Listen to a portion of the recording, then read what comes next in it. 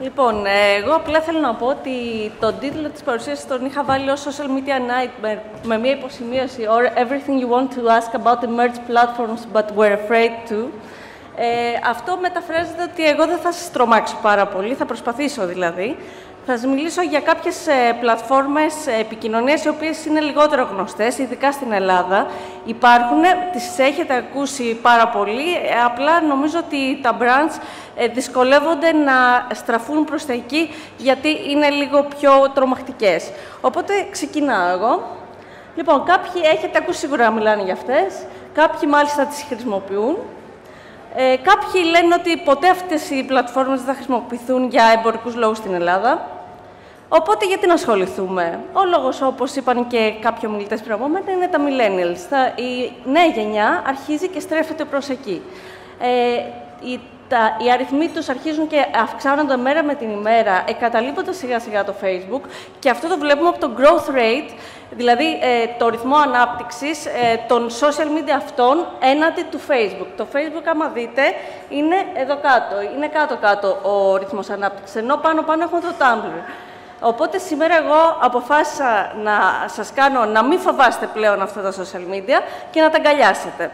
Ε, επέλεξα βέβαια, υπάρχουν πάρα πολλά νέα social media, υπάρχει το Periscope, υπάρχει, υπάρχουν πάρα πολλά. Εγώ αποφάσισα να σας μιλήσω για αυτά τα τρία, τα οποία δεν είναι και τόσο νέα, υπάρχουν πάρα πολλά χρόνια. Έλληνες χρήστες έχουν αρχίσει να μπαίνουν πάρα πολύ, οπότε πρέπει σιγά σιγά και εμείς να μην μιλάμε πλέον μόνο για το Facebook και το Twitter και να αρχίσουμε να μιλάμε και για τις άλλες πλατφόρμες που υπάρχουν εκεί έξω. Οπότε αποφάσισα σήμερα να μιλήσουμε για το Snapchat, το Tumblr και το Vine.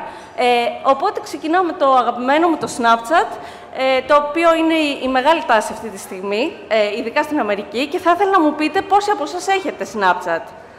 Είναι πάρα πολύ καλό αυτό, εγώ περίμενα πολύ λιγότερους, και πόσοι κάνετε Snaps καθημερινά; Είναι ακόμα καλύτερο. Αυτό τι σημαίνει; Όσοι σήκωσαν το χέρι τους, ε, σημαίνει ότι το χρησιμοποιούν σχεδόν καθημερινά. Αυτό ε, και επίσης ε, ήθελα σε αυτό το σημείο να πω να με ακολουθήσετε, γιατί έχω ανεβάσει το συνέδριο σε story σήμερα. Οπότε είμαι Νίκη Σότ, ακολουθήστε με για να δείτε το story του συνεδρίου. Οπότε όμως, επειδή οι υπόλοιποι από ό,τι είδα στην αίθουσα δεν έχετε Snapchat, εγώ είμαι εδώ για να σας πω τι σημαίνει. Λοιπόν, τι είναι το Snapchat; Το Snapchat είναι ένα mobile app, αυτή τη στιγμή υπάρχει και σε Android και σε Apple συσκευές, το οποίο σου επιτρέπει να στέλνεις εικόνες που αυτοκαταστρέφονται μετά από 1 με 10 δευτερόλεπτα. Το πότε θα αυτοκαταστραφεί η εικόνα θα το ορίσει ο χρήστης. Θα μου πείτε τι, είναι αυτό, τι χρήσιμο έχει αυτό, τι, γιατί να χρησιμοποιήσω εγώ το Snapchat. Ε, θα σας πω ότι είναι πάρα πάρα πολύ χρήσιμο και θα σας εξηγήσω και το πώς. Αυτή τη στιγμή υπάρχουν 100 εκατομμύρια ε, ενεργοί χρήστες, αν και τα στοιχεία αυτά είναι λίγο παλαιότερα και από ό,τι διάβασα είναι γύρω στους 200. Απλά η Snapchat ακόμα δεν έχει βγάλει τα στοιχεία. Ένα δισεκατομμύριο ιστορίες διαβάζονται καθημερινά από αυτά που φτιάχνουν οι χρήστες. Επίσης, 400 εκατομμύρια snaps παίρνουν οι χρήστες καθημερινά. Αυτό σημαίνει ότι ένας χρήστης κάνει τουλάχιστον 4 snaps καθημερινά. Και στην Αμερική, γιατί δεν υπάρχουν στοιχεία φυσικά για την Ελλάδα, ε, το 71% των snappers είναι κάτω από 25 χρονών. Αυτό σημαίνει ότι είναι το μέσο του μέλλοντος. Επίσης, 77% των κολογιόπαιδων στην Αμερική το χρησιμοποιούν καθημερινά. Λοιπόν, εγώ σας προτείνω μόλις γυρίσετε σήμερα, όσοι δεν έχετε, να φτιάξετε ένα Snapchat, ε, ένα λογαριασμό Snapchat στο κινητό σας. Ε, αν είσαστε και μάρκα, ακόμα καλύτερα, αλλά δεν σας το προτείνω ακόμα. Λοιπόν, οι τρεις βασικές οθόνες είναι αυτές που βλέπετε, που εγώ βλέπω, βλέπετε με ποιους μιλάω περισσότερο, έτσι, δεν, χρειάζεται, δεν το κρύβω. Ε, μετά είναι τα stories που είναι stories που ανά 24 ώρες ε, ανανεώνονται. Δηλαδή, εγώ έχω φτιάξει το story το σημερινό για το σημερινό συνέδριο, που θα δείτε τα Snapchat που έχω τραβήξει, που έχω τραβήξει περίπου 5 έως τώρα, αλλά αύριο δεν θα μπορείτε να το δείτε, οπότε πρέπει να το δείτε μέχρι σήμερα. Και το τρίτο είναι οι συνεργασίες του Snapchat με διάφορα brands, που μπορείτε να μπείτε και να δείτε διάφορα πράγματα. Λοιπόν, πώς θα κάνετε Snap. Επειδή εγώ θέλω να βάλω αυτή τη στιγμή, όπως καταλαβαίνετε, στο Snapchat, να προσθέσω στην ιστορία που σα, πώς σας βλέπω, το προσθέτω. Λοιπόν, ορίστε, το έβαλα. Πάρα πολύ ωραία.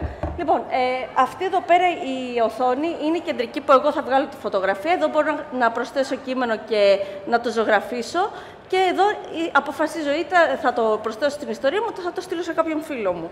Όπως καταλαβαίνετε, αυτό το μέσο δημιουργήθηκε για άλλους λόγους που δεν χρειάζεται να τους πω τώρα, αλλά φανταστείτε ότι τα teenagers τι ανταλλάσσουν μεταξύ τους, που δεν θέλουν να αποθηκεύει ο άλλος χρήστη στο κινητό του. Sexting, λοιπόν, και εγώ δεν το κρύβω, γιατί αυτός ήταν ο λόγος που δημιουργήθηκε αυτό το, το app. Ε, αλλά παράλληλα μπορούν να δημιουργήσουν πάρα πολύ ωραίες ιστορίες.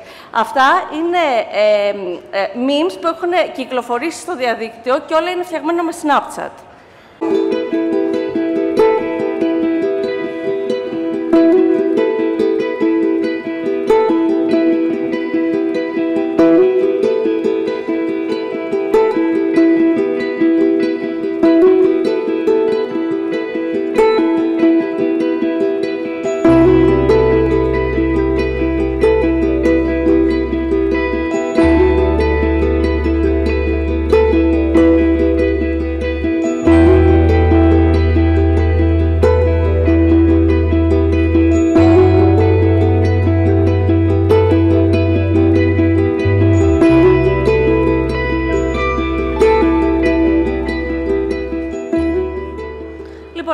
Μια πολύ ωραία καμπάνια της WWF με το Snapchat, που χρησιμοποίησε το Snapchat με τον καλύτερο δυνατό τρόπο. Δηλαδή, χρησιμοποίησε το, αυτό το feature ότι το Snapchat σου επιτρέπει να παίρνεις ε, εικόνες που μετά καταστρέφονται και το χρησιμοποιήσει με αυτόν τον τρόπο.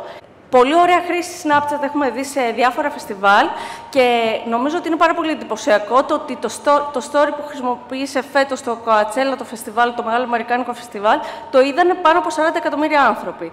Και σκεφτείτε ότι αυτό ουσιαστικά είναι με zero budget. Δηλαδή, οι, οι, οι ιστορίες που δημιουργούσαν οι χρήστες κατά τη διάρκεια του φεστιβάλ ήταν πολύ πιο δυνατές από οποιαδήποτε μαγνητοσκόπηση ή live αναμετάδοση του Κοατσέλε, γιατί ήταν οι γνώμες και απόψεις πολλών ανθρώπων μαζεμένες. Λοιπόν, συνεχίζουμε. Ποιοι έχουν Tumblr? Πολύ ωραία.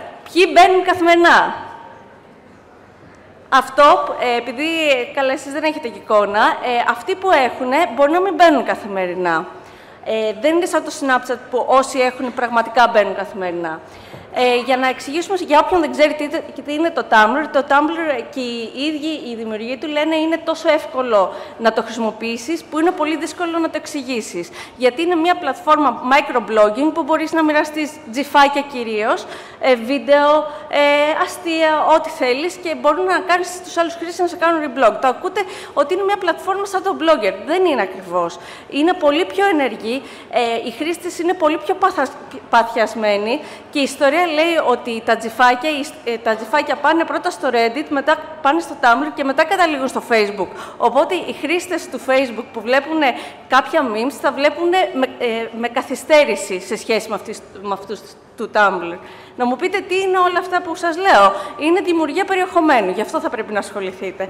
Και θα πρέπει να ασχοληθείτε ακόμα γιατί έχει 420 εκατομμύρια χρήστες με 254 εκατομμύρια blogs ε, και φτιάχνονται 113 εκατομμύρια Tumblr post την ημέρα. Ε, είναι πολύ εύκολο να μπείτε, εγώ προτείνω να μπείτε και σήμερα και να ακολουθήσετε έτσι πολύ ωραία πράγματα. Ε, τα τζιφάκια, όπως καταλαβαίνετε, είναι το νούμερο ένα πράγμα στο Tumblr. Και φυσικά υπάρχουν και πάρα πολλοί δημιουργοί που προωθούν τη δουλειά τους ε, αποκλειστικά μέσω Tumblr, οπότε πρέπει να μπείτε να, να, πραγματικά να ψάξετε.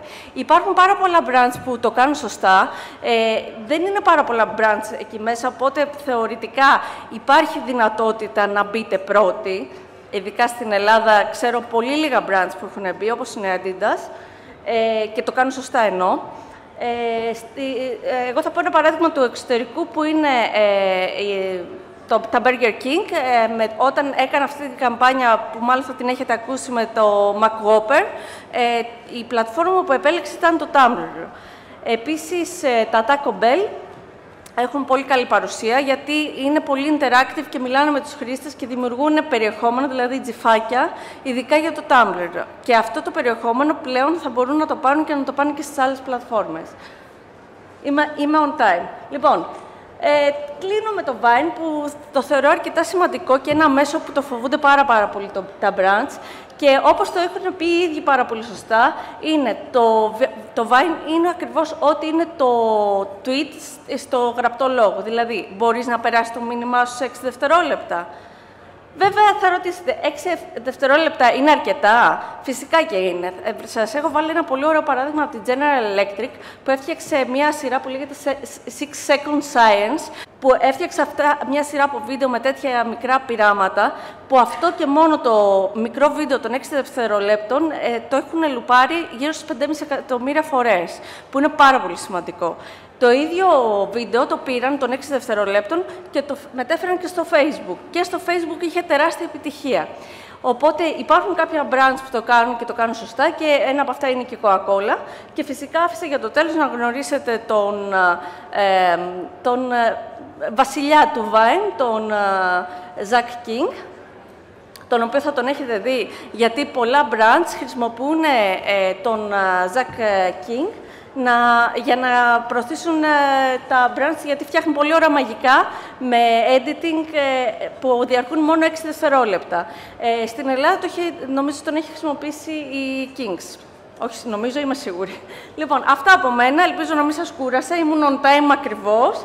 Ε, και ό,τι άλλο θέλετε μπορείτε να με ρωτήσετε. Ευχαριστώ.